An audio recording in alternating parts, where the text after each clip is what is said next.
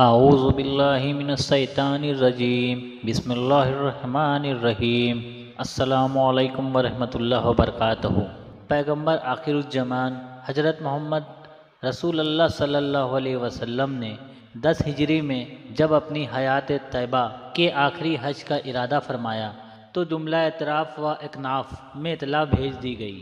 इस पर फ़र्जंदान इस्लाम की एक कसीर तादाद मदीना तैयबा में जमा हो गई, जिसमें हर तबका और हर दर्जे के अफराद शामिल थे। हजूर सल्लल्लाहु अलैहि वसल्लम ने अपने साथियों समेत जुलहलेफा में अहराम बांधा और लब्बैक लब्बैक की सदाओं के साथ आप मक्का मुआज़मा को रवाना हुए। नौ हज्जा को तुलु आफ्ताब के बाद वादी नमरा में और फिर मैदान अराफात में एक लाख चौबीस हज़ार या चवालीस हज़ार कुदैशियों के साथ तशरीफ़ लाएँ। फिर ये पूरा मैदान तकबीर व तहमील की ईमान अफरोज़ सदाओं से गूंज उठा। हजूर मोहसिन इंसानियत ने जबल रहमत के करीब कसवा नामी ऊटनी पर सवार होकर कायनात इंसानी के लिए एक ऐसा बैनुल्ला निशानी मंसूर पेश फरमाया, जो बनी आदम की फला व बहबूद और अमन व सलामती की अब्दी, पैगाम और तरीक पर मुश्तमिल है। हुजूर का ये आखिरी खताब खुतबाउलहजतुलवदा के नाम से मरूफ है। आपने खुदावंद कुद्दूस की हमद सना के बाद फरमाया ए लोगों, मैं तुम्हें इस इबादत की नसीहत करता हूँ। मेरी बातें पूरी तवज्जा और गौर के साथ सुनो। क्योंकि मैं नहीं देखता कि इस साल के बाद, इस मुकाम पर, इस महीने में और शहर में फिर तुमसे मुलाकात हो सके। खुदा ताला ने तुम्हारे खून, तुम्हारे माल और तुम्हारी इज़्ज़त व आबरू को एक दूसरे पर आज के दिन, इस शहर और इस महीने की हुरमत की तरह हराम कर दिया है। लोगों, तुम्हारा खुदा एक है, तुम्हारा बाप एक, तुम सब औलाद आदम हो। और हज़रत आदम मिट्टी से पैदा किए गए थे। किसी अरबी को अजमी पर और किसी काले को गोरे पर कोई फजीलत और बरतरी हासिल नहीं। और ना ही किसी अजमी को अरबी पर और गोरे को काले पर कोई इम्तियाज़ हासिल है। यानी वतनीत और रंगो नस्ल के सब इम्तियाज़ात ख़त्म हैं। खुदा ताला के नज़दीक तुम में से माजूज़ वो है जो ज़्यादा परहेजगार है। हर मुसलमान दूसरे मुसलमान का भाई है और अखवत इस्लामी के रिश्ते में मुंसलिक है। तुम अपने खादिमों को वही खिलाओ जो तुम खुद खाते हो और वही पहनाओ जो तुम खुद पहनते हो। लोगों, दौरे जाहिलियत की हर बात मैं अपने कदमों के नीचे रौनता हूँ।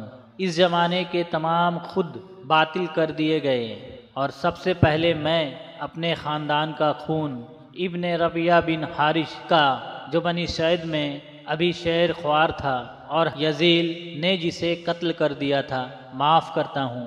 और जमाना जाहिलियत के तमाम सूदी लेन देन बातिल करता हूँ। सबसे पहले अपने ख़ानदान का सूद अब्बास बिन अब्दुल मुतल्लिब का बातिल करार देता हूँ। लोगों अपनी औरतों के मुतालिक अल्लाह से डरते रहो। खुदा के कलाम से तुमने इनका जिस्म अपने लिए हलाल बनाया है। तुम्हारी औरतों को तुम्हारे मुकाबले में कुछ हकूक़ और ज़िम्मेदारियाँ सुपुर्द हैं। तुम्हारा हक औरतों पर यह है कि वो तुम्हारी ख्वाबगाहों और बिस्तरों पर किसी गैर मर्द को हरगिज़ ना आने दें और घरों में तुम्हारी इजाज़त के बगैर किसी शख्स को दाखिल ना होने दें और वो किसी बेहयाई का इरतकब ना करें। और तुम्हारे ज़िम्मे औरतों का हक ये है कि इनकी खुराक और पोशाक का अहतमाम करो। ऐ लोगों, तमाम मुसलमान आपस में भाई भाई हैं। किसी शख्स के लिए अपने भाई की इजाज़त के बगैर उसका माल लेना जायज़ नहीं। मेरे बाद कहीं इस अखवत इस्लामी को तर्क करके काफिराना ढंग और तर्ज ज़िंदगी इख्तियार ना कर लेना कि एक दूसरे की गर्दनें काटने लगो। ऐ लोगों, मेरे बाद कोई नबी या पैगंबर आने वाला नहीं और ना ही तुम्हारे बाद कोई और उम्मत पैदा की जाएगी। बस गौर से सुनो, तुम अपने रब की इबादत में लगे रहो। तुम अपने रब की इबादत में लगे रहो। पाँचों वक्त नमाज़ अदा करते रहो। माह रमज़ानुल मुबारक के रोज़े रखते रहो।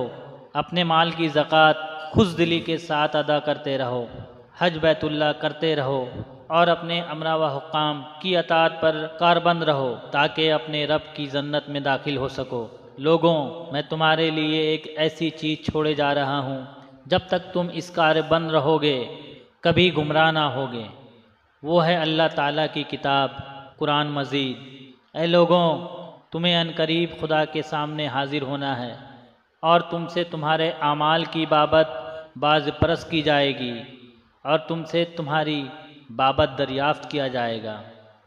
तो बताओ तुम वहाँ क्या जवाब दोगे? इस पर तमाम हाजरीन ने बाआवाज़ बुलंद अर्ज़ किया। हम गवाही देते हैं कि आपने पैगाम हक पहुँचा दिया और उम्मत को नसीहत करने का हक अदा कर दिया। हकीकत से पर्दे उठा दिए और अमानत इलाही को सही तरीके से हमारे सपुर्द कर दिया। हाजरीन के इस जवाब पर हुजूर मोहसिन इंसानियत ने अंगस्त शहादत आसमान की तरफ़ उठाकर फरमाया, ए खुदा, सुन ले और गवाह रहना कि तेरे बंदे क्या गवाही दे रहे हैं। मुमकिन है बाज़ सामीन के मुकाबले में बाज़ गैर हाजिर लोग और इन बातों को अच्छी तरह याद रखें और इन पर अमल पैरा होकर खूब हिफाजत का फरीज़ा अंजाम दें। हजूर अलैहि वसल्लम जब खुतबा से फारिग हुए तो उसी मकाम पर कुरान मजीद की ये आयत करीमा नाजिल हुई। अलियोमा अकमल तो लकुम दीन अकुम वातमम तो अलैकुम नेमती वरजी तो लकुमलाम दीना।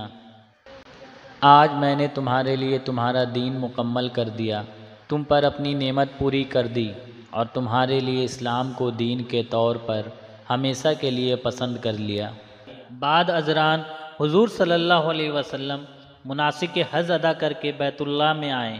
तवाफ़ अदा से फारिग होकर कदसियों की जमात के साथ मदीना मुनवरा वापस तशरीफ़ ले गए और सिर्फ़ इक्यासी रोज़ बाद मोहसिन इंसानियत हुजूर मोहम्मद सल्लल्लाहु अलैहि वसल्लम इस दार फ़ानी से आलम जादवानी की तरफ़ तशरीफ़ ले गए सल्लल्लाहु ताला अला खैर खल की है, मोहम्मदी व आली है, व सहाबी है अजमैन रहमत नाजिल कर ए अल्लाह ताला, तमाम मखलूक के सरदार मोहम्मद सल्लल्लाहु अलैहि वसल्लम पर और आपकी औलाद और आपके असहाब सब पर।